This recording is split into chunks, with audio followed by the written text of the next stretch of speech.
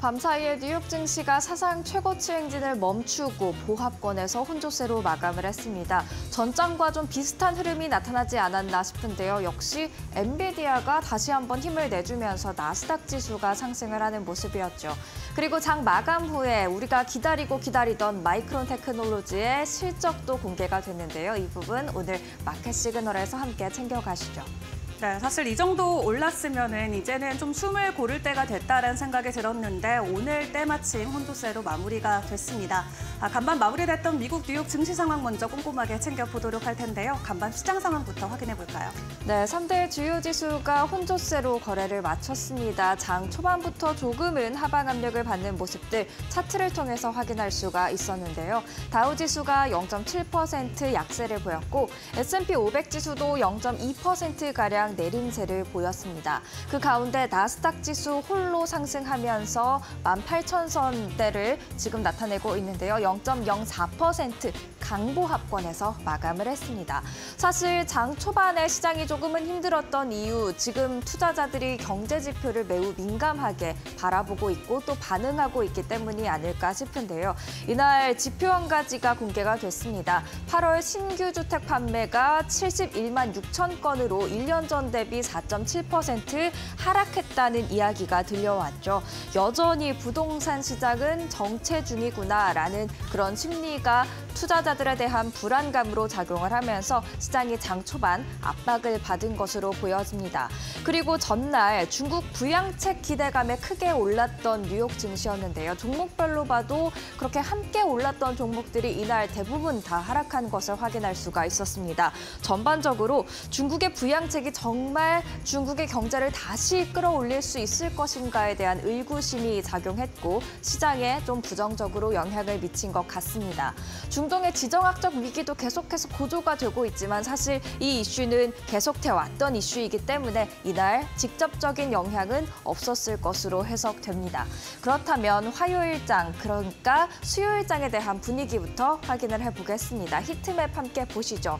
지금 오른 종목들은 초록색, 그리고 내린 종목들은 빨간색으로 표시가 되어 있는데요. M7 중에서 그래도 오른 종목들 꽤 보입니다. 애플은 내렸지만 마이크로소프트 0.7%가량 오름세를 보였고요. 엔비디아가 밤 사이에 또 힘을 내줬습니다. 2%대 상승률을 기록을 했고 전반적으로 반도체주 대다수가 그래도 오르는 모습들을 보였는데 그 가운데서도 AMD 그리고 마이크론 테크놀로지, 인텔도 오름세를 보였습니다. 的。 계속해서 M7으로 돌아가면요. 구글의 무회사죠. 알파벳이 0.4% 내렸고 메타는 0.88% 강세였습니다. 장중에는 더 큰 상승률을 기록하기도 했지만 상승폭을 줄이는 모습이 나타났고요. 아마존이 0.74% 하락했고 테슬라가 1%대 강세를 보인 반면 GM과 포드는 쨍한 빨간색을 띄었죠. 하락폭이 컸다는 것을 의미합니다. 조금 있다가 자세하게 살펴보도록 하겠습니다. 그리고 유틸리티 섹터에서도 컨스텔레이션 에너지 그리고 비스트라가 지금 쨍한 초록색을 띈 것을 알 수가 있는데요. AI 때문에 움직였다고 볼 수가 있겠습니다. 특징주를 통해서 계속 확인해 보겠습니다. 그 전에 마이크론 실적부터 확인을 해 보고 갈까요? 장 마감 후에 실적을 공개했는데요. 실적 좋았습니다.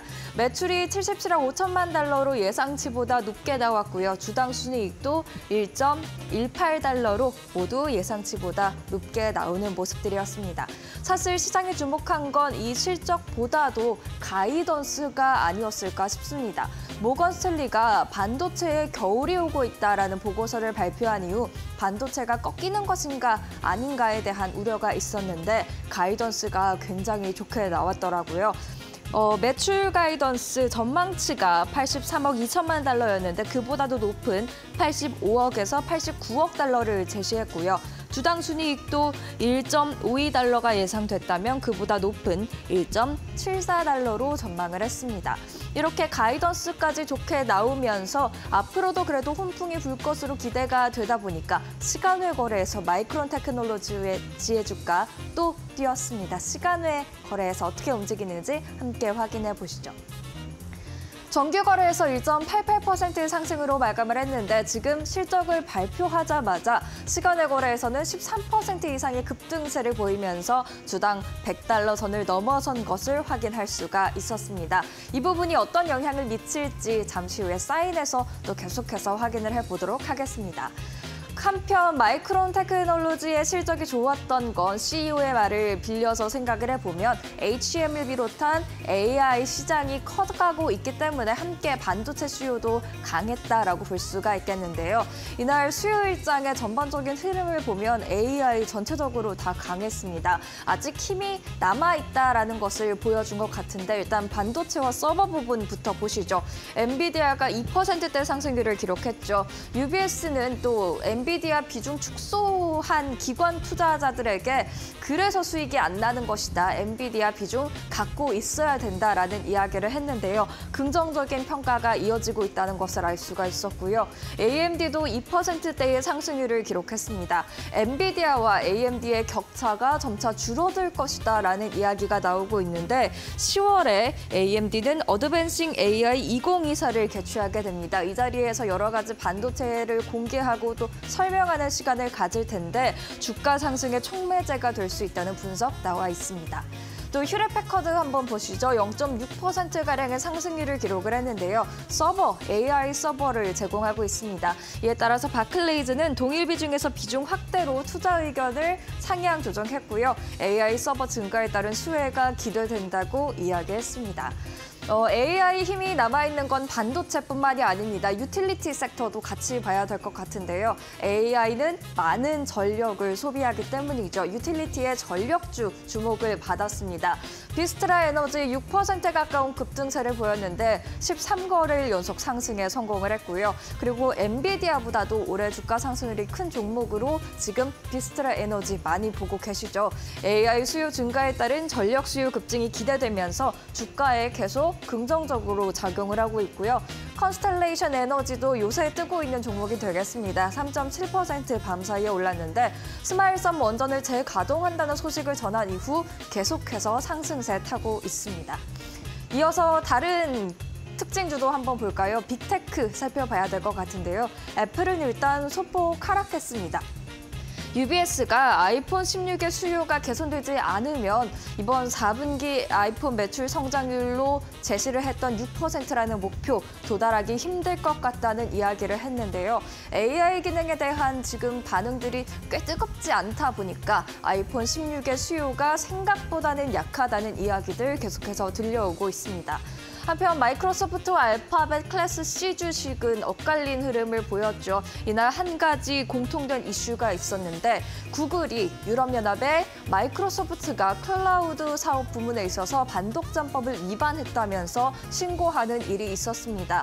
어, 이 부분이 어떻게 진행이 될지 지켜보셔야 될 것 같은데 일단 주가에는 크게 이날 반영되지 않은 모습이었습니다. 마지막으로 메타 한번 보시죠. 장중에는 더 크게 올랐다가 0.88% 상승률로 거래를 마쳤는데요. 이날 299달러 꽤 저렴하다고 평가를 받고 있는 VR 헤드셋 퀘스트 3S를 출시했습니다. 그리고 이 자리에서 AR 증강현실 안경의 프로토타입 시제품을 선보이기도 했는데요. 앞으로 차세대 스마트 안경을 이끌어갈 메타의 모습을 한번 그려보실 수 있을 것 같습니다. 마지막으로 이슈가 있었던 종목들도 한번 체크를 해보시죠. 암젠 바이오테크 기업인데요. 밤 사이에 5% 이상 하락했습니다.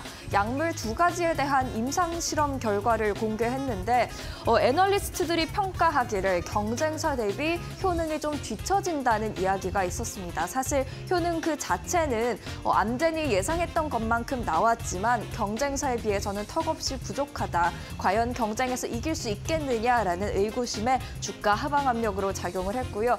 이렇게 신, 새로 공개한 약물 두 가지에 대한 실망감이 좀 있다 보니까 비만 치료제 마리타이드에 대한 성공 여부가 더욱더 중요해졌습니다. 이 마리타이드는 지금 시중에 나와 있는 비만 치료제와는 다르게 기전도 다르고요.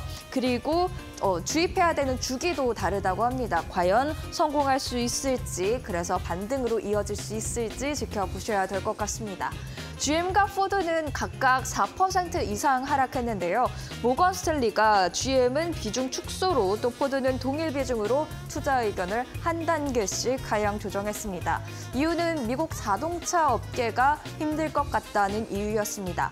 미국의 소비자 신용이 악화되기도 했고 또 중국을 시작으로 경쟁이 굉장히 치열해지고 있기 때문에 시장 점유율을 유지하는 게 어렵 성장 또는 유지하는 것이 어려울 것으로 보인다는 이유에서였습니다. 마지막으로 트럼프 미디어 앤 테크놀로지는 10%대의 급등세를 보였는데요.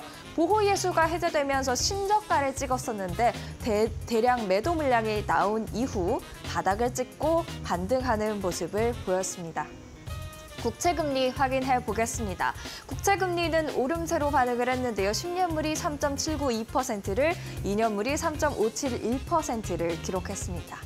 그리고 국제 유가도 한번 체크를 해봐야겠죠. 일단 주식 시장은 중국의 부양책을 어, 시들해지는 그런 모습들을 보였는데 WTI도 마찬가지였습니다. 중국 경기 부양책 효과에 대한 의구심에 어제 올랐었던 것을 그대로 다시 반납하는 모습이었습니다. 2% 넘게 빠졌고요. 배럴당 70달러 선 아래로 다시금 내려왔습니다. 국제 금값도 한번 보실까요? 미국의 기준금리 인하에 대한 기대감이 계속해서 작용을 하고 있습니다. 다만 차익 실현 물량이 좀 나오면서 상승폭은 제한되는 모습이었습니다. 국제 금값 0.3%가량 오름세를 보였습니다.